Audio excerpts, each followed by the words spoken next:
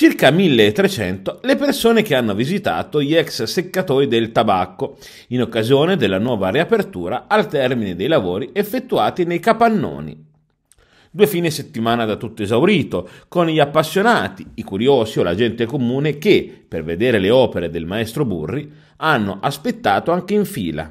Una riapertura attesa, come ha dimostrato il flusso di gente continuo dopo le opere di miglioramento. In totale sono stati 10 i milioni investiti dalla Fondazione Burri in 7 anni di lavoro, dal 2015 al 2022. Si è iniziato con la riqualificazione del piano sottostante e i risanamenti esterni, costati circa 5 milioni e 700 mila euro. 2 milioni e mezzo circa di euro sono stati invece investiti per la nuova area, inaugurata nel 2019, all'incirca altrettanti per il restyling del piano superiore con importanti lavori climatici sulla pavimentazione e di manutenzione delle opere. Adesso, come hanno spiegato i vertici della fondazione, si guarda al futuro con importanti progetti, fra cui gli impianti fotovoltaici sopra i tetti.